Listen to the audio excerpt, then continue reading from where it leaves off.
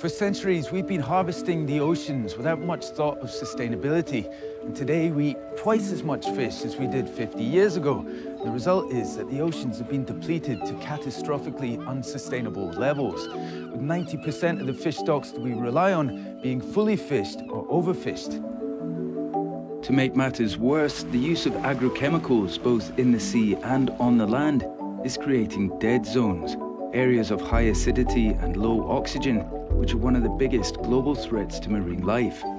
There are already around 500 of them worldwide, the biggest in the Gulf of Mexico, covering 23,000 square kilometers. For the seas to thrive far into the future, we need to fundamentally rethink our relationship with the oceans. And here on the coast of Connecticut, they're doing just that.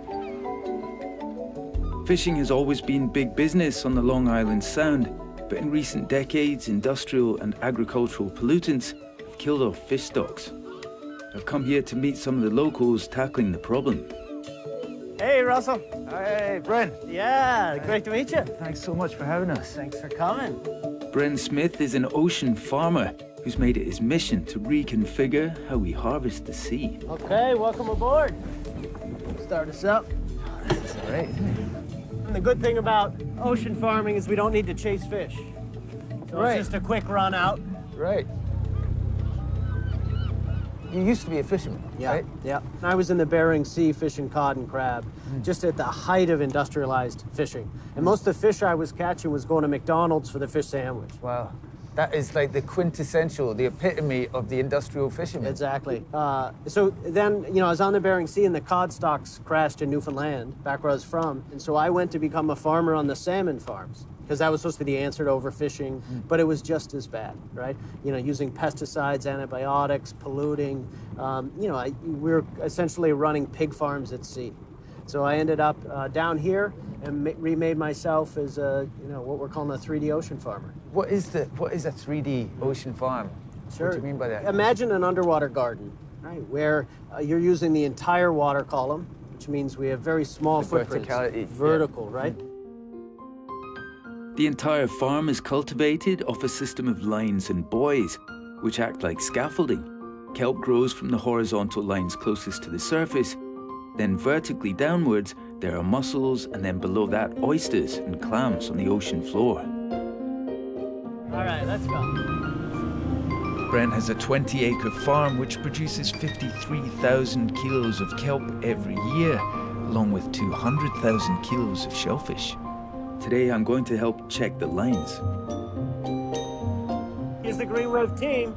Jill's gonna come aboard and uh, learn how to do some kelp farming. Ahoy! All right, you ready to see some kelp? All right. There's the vegetable of the sea right there. Let's attach some mussel socks, okay? Yeah, sounds good. Okay, good. And then we're just gonna go I'm around the knot there. See that? Unlike conventional aquaculture, Bren's ocean farming has no need for agrochemicals. In fact, it even seems to clean the water of pollution. And it sequesters carbon, thereby helping to tackle climate change. Is there a reason why you, you've chosen mussels? So they're really lean proteins, packed full of omega-3s, but also soak up nitrogen. They filter, they use nitrogen to grow, uh, filter it out of the water column. And, uh, you know, this farm filters millions of gallons of water a week. An oyster filters up to 50 gallons a day. Just one oyster. Wow. right? You, if, you, if you were to um, take a network of these farms totaling 5% of U.S. waters, um, you, you could remove the equivalent carbon output of over a million cars. What the kelp does is it reduces the acidification rate. It pulls so much carbon and nitrogen out that it changes the water quality. So we've done studies, and it's called the halo effect of the kelp actually working together with the oysters. Wow, that companion companion species. Exactly, exactly. Wow. You know, they're meant to be together. Wow. Oh, it's quite romantic when you think of it like that. Aw. Bren's claims are certainly intriguing, but can this system really help clear up dead zones and revitalize the seas? At the Seaweed Marine Biotechnology Lab at the University of Connecticut, Stamford, they've been studying just this question. This is proper science. Yes. What's going on in here? So we have a lot of the kelp microscopic stages growing right here. Dr. Simona Augyte is leading the research. In some coastal estuaries like Long Island Sound, we have a lot of nutrient runoff. So from fertilizers or from wastewater treatment plants, a lot of those nutrients get concentrated into the water and then they can cause problems like um, harmful algal blooms or you know hypoxic conditions and so by growing seaweed as, uh, uh, in addition to shellfish we can uptake some of those nutrients and help clean up the waters And the hypoxic, that's like low oxygen. Is that right. right? yes exactly Which is not good. Like Right. for for for fish exactly Simona is going to show me how they use kelp to both monitor and clean the waters in the sound. Okay, So the first thing we're going to do is we're going to take some of this harvested kelp uh, that we pulled off the long lines, and we're going to grind it up in the in this little machine. Once pulverized, Simona can calculate the level of nitrogen in the kelp, which in turn helps her learn how much needs to be grown to clean the waters of pollutants. Based on that, then we can say, you know, based on that percentage, if we grow this much seaweed on this long of a line, then we're taking up that much nitrogen from the water. Information like this is vital for Bren, who uses it to determine how much kelp he has to cultivate in order to improve the water in his patch of the Sound. 3D farming proposes a close collaboration between fishermen and scientists, but that's not all. Yet another important partnership is happening on dry land. Toby Fisher is a farmer who recently started working with Bren. He used to use conventional fertilizer until six months ago when he switched to kelp. So this is where we're processing the kelp turned into fertilizer. Yeah, it has a nice a nice smell to it. that's how yeah, you know yeah. it's that's how you know it's the good stuff. So what is actually going on here? Like, why why do you not just put it straight on the fields? The nutrients from the kelp will will transfer over to the water because you see the kelp just turns just into get my hands like in there. It's pretty. Uh, like a Oh, uh, wow, yeah. goo. yeah, right. And so all the nutrients leaches out into the liquid, and then we can use the liquid to fertilize. I'm not gonna get like some crab jump out.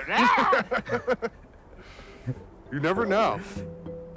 Toby's farm grows over 25 different kinds of fruit and veg, supplying the local community. And it's this organic, plant-based fertilizer that he now uses on all his crops. This is kale. Can I Yeah. try a little bit? Yeah. It's gonna This- ruin kale for you though, because you'll never taste kale that tastes that good again. Do you feel a kind of connection to the sea because of this operation? Most land-based farmers don't think about their actions and how they affect the sea. The nutrients run off from the land, they go out into the ocean, the kelp uses it to grow, and then it comes back here.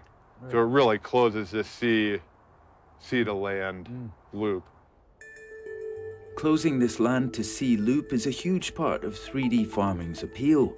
But in the center of New Haven, there's another collaboration which is putting sustainability on the menu. I'm off to meet Avi Shapiro, head chef at Roia, to find out more. Bren came to me with the kelp, and he's like, here it is, use it. Once he started telling me the story, once we started dialoguing on the benefit, more than anything, sustainability perspective, I started playing around with it. I started using it in a variety of different ways that I can feel like, man, this has legs. So, Should I just go ahead and. yeah, go ahead and, and as you would regular pasta. It smells fantastic. Right, here goes.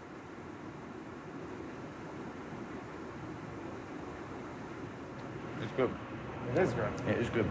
We're going to actually see this kind of ocean farming have a significant impact on ocean cleanup, on climate change. You but need we to need eat to enough. Get, we need to eat loads of this stuff. We, need, to get everybody eating it. You got to seduce the customer. If I seduce the customer to a way that people start asking for it, then let Bren figure out how to mass produce it. That's not my that's not my Your role. department, yeah. My goal is if they like it, I've done my bit. A change is afoot here in New Haven, and 3D farming is at the heart of it all. I mean, we've got to tell a story, and a hopeful story about the future, right? You know, it's all bad news about climate change and food insecurity, stuff like that. But I think out here we can say, hey, our oceans are a blank slate, and this is our chance to really build something new and build something from the bottom up that is sustainable, restorative, and doesn't make all the mistakes of industrial agriculture and industrial aquaculture.